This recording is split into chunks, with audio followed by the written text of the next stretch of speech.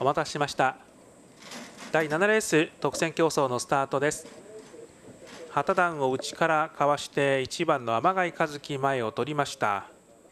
1番天貝5番の旗段の順で前先頭2番手前段です。開いた3番手からは2番の山口多門です。その後ろに7番の小橋秀幸その内には3番の真鍋智弘後方にかけては6番の上田そして4番の佐々木と続いています。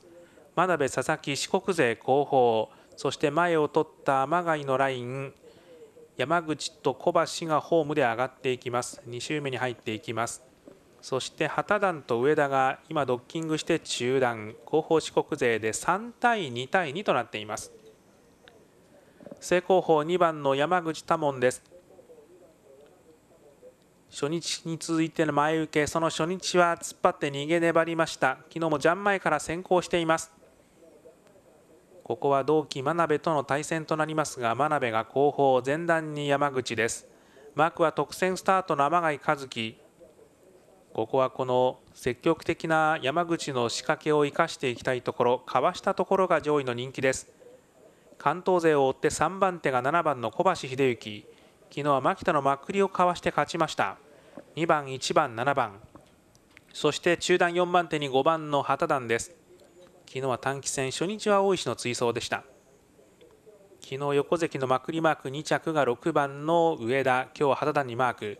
そして山口同期121期初日かまして勝ちました。真鍋です。佐々木を連れて。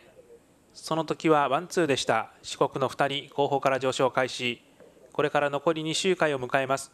2センターから中段からそして4コーナーさらに前へと上がっていきます。真鍋。同期対決。さあここは肩を並べてですが突っ張っていったのが山口。外バンク通って下げていきまして6番手元の位置に戻っていきました真鍋と佐々木。若干波を作って抵抗していきます山口ライン。打賞を迎えました。山口が主導権。徐々にピッチを上げ気味です。4コーナー。山口天貝。そして小橋と東の三者前段5番旗段変わらず4番手。残り1周回を切りました。若干車間切って6番手3番の真鍋どこから仕掛けるか。2コーナーからバック。ようやく6番手から真鍋が仕掛ける佐々木がちょっと離れ気味。しかし3番 ,3 番手あたりまで旗段が上がってきました。これを今度は天貝が牽制する。4コーナーから直線。2番の山口このまま粘りきりそうだ。2番手1番の天貝キープ。2番1番7番。9の123の模様です。第7レースが終了しました。真鍋は結局仕掛けきれず。そして旗段がまくっていくもののこれは天貝が牽制。しかし山口がかかっていました。牽制してからの巻き返しちょっと及びませんでした天貝。最終日振り切って白星締めは2番の山口。そして1番天貝7番の小橋。